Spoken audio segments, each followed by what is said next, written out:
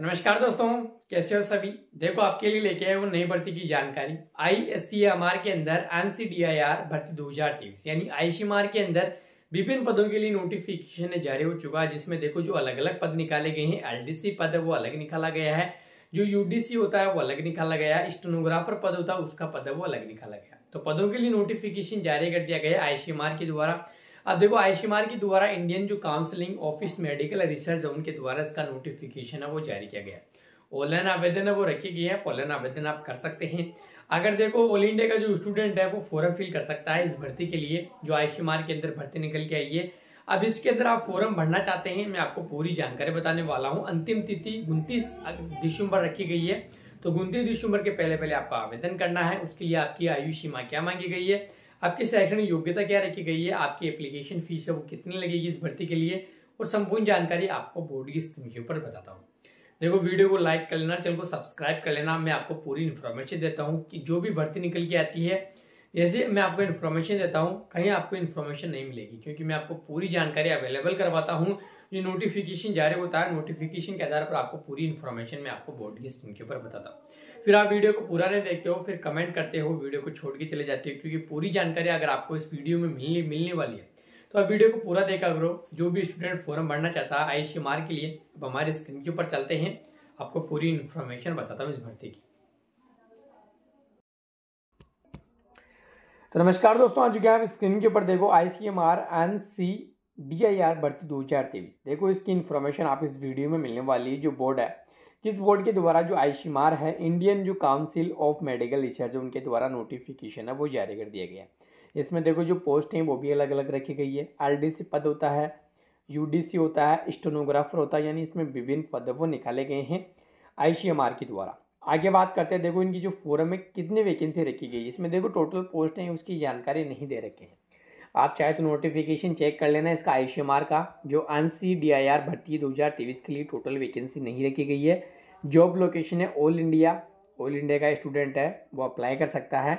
Exam date update show ने exam की जानकारी नहीं दे रखे हैं। ऑल इंडिया का जो भी स्टूडेंट है ICMR के लिए फॉर्म फिल कर सकता है। आगे देखो फोरम है, आपके शुरू हो चुके हैं। स्टार्टिंग फोरम है वो अट्ठाईस नवंबर 2023 से शुरू हो चुके हैं।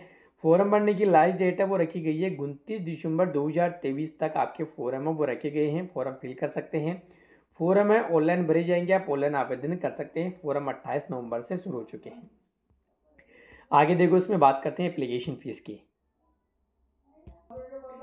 I C M R N C D I R भर्ती दो हज़ार तेईस के लिए एप्लीकेशन फ़ीस की बात करें तो general category O B C category E W S category के लिए तीन सौ रुपये आवेदन फ़ीस है, वो रखी गई है। बाकी एप्लीकेशन है S S T P W D S M के लिए किसी भी प्रकार का आपके आवेदन फ़ीस है वो नहीं रखी गई।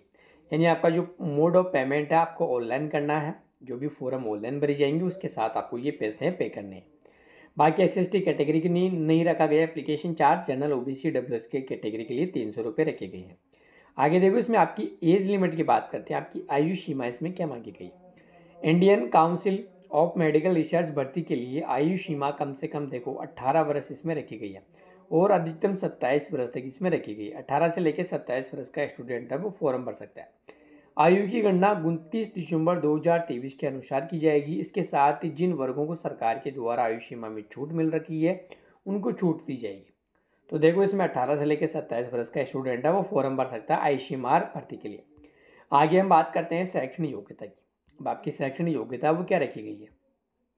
I C MR N C D I R भर्ती दो हज़ार तेईस के लिए देखो आई सी मार भर्ती के लिए शैक्षणिक योग्यता लोअर डिवीज़न करने के लिए किसी भी मान्यता प्राप्त संस्था से देखो, बारहवीं पासिंग होना चाहिए। टाइपिंग की स्पीड होनी चाहिए। देखो, इस पद के लिए आप अप्लाई करना चाहते हैं जो लोअर डिवीज़न है उसके लिए। बारहवीं पासिंग होना चाहिए, आपको टाइपिंग का नॉलेज होना चाहिए। पैंतीस वर्ड प्रति मिनट आपकी इंग्लिश और हिंदी टाइपिंग होनी चाहिए। अपर डिवीज़न कलर के लिए आप अप्लाई कर रहे थे अप्लाई कर रहे हैं, किसी भी मान्यता प्राप्त संस्था से स्नातनक आपने कर रखा है। टाइपिंग स्पीड आपकी पैंतीस वर्ड होनी चाहिए प्रति मिनट अंग्रेज़ी और हिंदी के अंदर। इसके साथ स्टोनोग्राफर पद के लिए आप अप्लाई कर रहे हैं तो बारहवीं पासिंग होना चाहिए। साथ ही टाइपिंग स्पीड भी होनी चाहिए, अस्सी प्रति मिनट हेड शोट अंग्रेज़ी और हिंदी भी होनी चाहिए दोनों के अंदर। तो ये शैक्षणिक योग्यता रखी गई है IC MR N C D I R भर्ती दो हज़ार तेईस के लिए। तो ये थी इन्फॉर्मेशन आई मार भर्ती की मैंने आपको बताई है। अगर आपको ये वीडियो पसंद आया, जानकारी आपको अच्छी लगी, वीडियो को लाइक करें, चैनल को सब्सक्राइब करें, आपने अभी तक नहीं किया है, आप फॉर्म भरना चाहते हैं अप्लाई करने की लिंक आप फॉर्म भरेंगे, उसकी लिंक आपको नीचे डिस्क्रिप्शन में मिल जाएगी। टेलीग्राम चैनल या व्हाट्सअप ग्रुप को ज्वाइन कर लेना, नीचे आपको डिस्क्रिप्शन में लिंक मिल जाएगी। वहाँ से आप अप्लाई कर सकते हैं। I CMR N C D I R भर्ती